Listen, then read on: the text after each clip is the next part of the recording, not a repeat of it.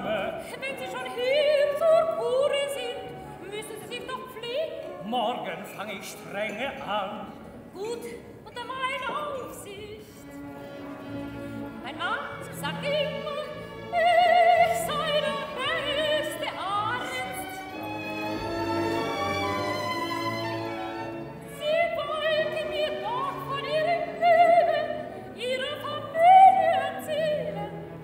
alles Morgen, wenn Sie gestatten, aber ich fürchte, der Walzer geht zu Ende.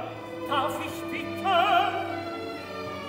Kniet es Frau, tanzen wir eine Feder,